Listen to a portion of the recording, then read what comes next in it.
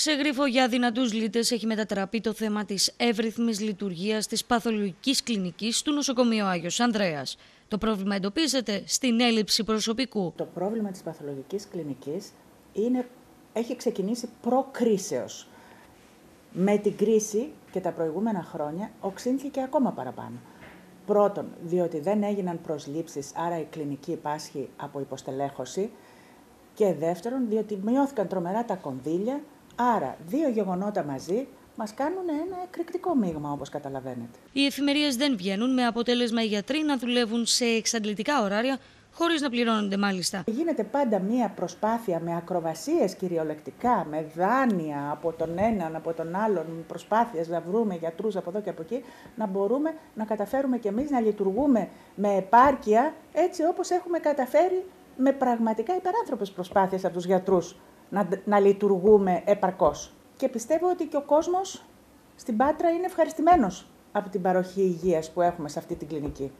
Αλλά αυτό πραγματικά το λέω και θέλω να το τονίσω, να το ακούσουν και οι υπεύθυνοι και όλοι, ότι γίνεται με τη φοβερή, πραγματικά φοβερή αυτοθυσία των γιατρών μας. Για ακόμη μια φορά αναζητείται η λύση που μπορεί να δοθεί στο πρόβλημα. Δεν μπορούν να δώσουν ουσιαστική λύση στα ζητήματα του Αγίου Ανδρέα.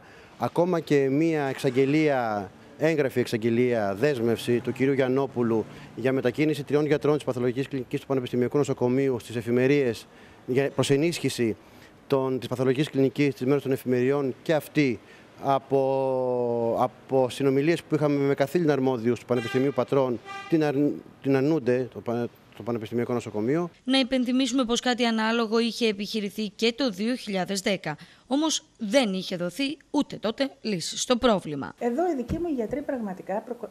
προσπαθώντας ας πούμε, να κρατήσουμε μια υψηλή επάρκεια ε, ε, ε, έχουν ξεπεράσει τον εαυτό τους. Οι δύο γιατροί, το μόνιμο αυτό προσωπικό που πάει να ξεπαγώσει, ναι. οι δύο γιατροί φτάνουν κυρία Φραγκουλιά. Δεν φτάνουν, αλλά τουλάχιστον θα κάνουν μια, μια ανάσα. Μια ανάσα δεν φτάνουν, αλλά τουλάχιστον θα κάνουν μία ανάσα. Πόσοι, πόσους γιατρούς έπρεπε... πραγματικά χρειάζεται η παθολογική για την εύρυθμη λειτουργία της. Για, για την, την εύρυθμη; λειτουργία της θα χρειαζόμαστε άλλους τέσσερις γιατρούς τουλάχιστον. Στην παθολογική κλινική έχουν αναπτυχθεί περίπου 48 κρεβάτια. Αριθμός που, όπως είναι φυσικό, αυξάνεται κατά πολύ τις ημέρες που εφημερεύει το νοσοκομείο. Καλούμε άμεσα την ε, δείξη της 6 υγειονομικής περιφέρειας. Πρώτον να να, να δώσει άμεση λύση στο εφημεριακό ζήτημα το οποίο απασχολεί τον, το Γενικό Κρατικό Νοσοκομείο Πατρών, το οποίο επιτείνεται και με την έλλειψη προσωπικού σε γιατρούς και λοιπό προσωπικό, αλλά και να δώσει και άμεση λύση στην υποστελέχωση των κλινικών και των τμήματων του Γενικού Νοσοκομείου Πατρών,